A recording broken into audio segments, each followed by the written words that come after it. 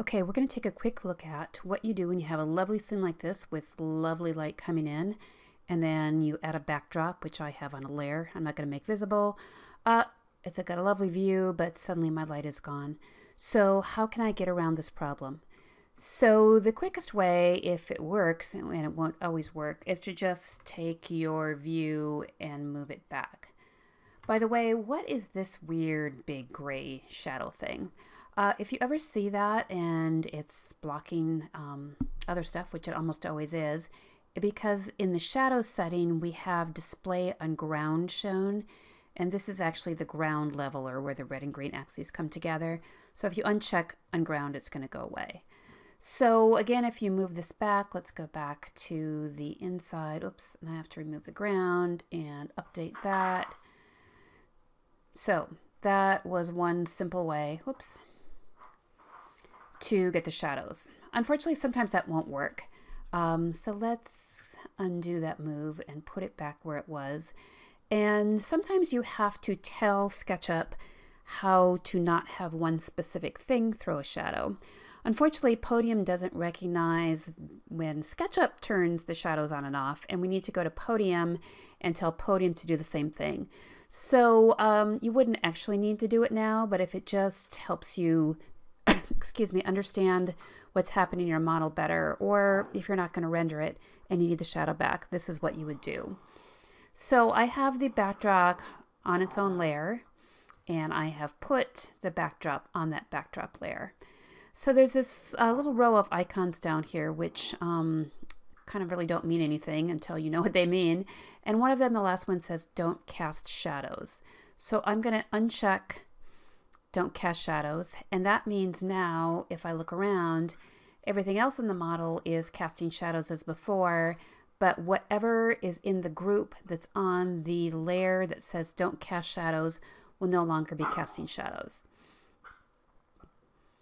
So that's one trick you can use in a floor plan if um, you could put all the walls on a group and say don't make that group cast shadows and you'll have just nice little shadows under your furniture and not also coming from your walls. So this is great, but I'm going to go ahead and render this and we'll see if Podium recognizes it. So I'm just going to go to Podium. I've got a quick interior preview. I'll just leave it on the defaults. And if I render it now, you can see that it's kind of an odd result right? Even though we can see the shadow here, I can't see it here. So Podium doesn't recognize uh, this toggle to turn shadows off. So we're going to have to go to Podium and make some changes there instead. So in Podium, they went about solving this problem in a slightly different way. So again, we saw SketchUp chose to tell groups to cast shadows or not. In Podium, they told materials to cast shadows or not. So I'm going to select this material and by default the cast shadows would be on. I'm going to uncheck that.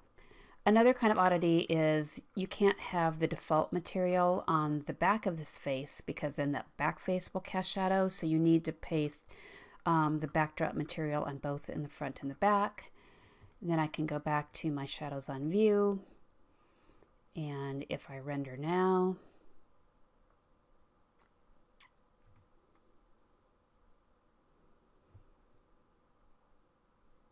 what you should see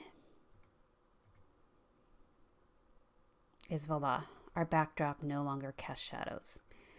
So again, remember two places. If I changed the backdrop to not cast shadows here, it changes how it appears in the model, doesn't affect the rendering. If I go to the material properties, check cast and uncheck shadows here, it doesn't change how it appears when I'm looking at the SketchUp model, but changes what happens after I render it in Podium. All right, all clear? Good luck.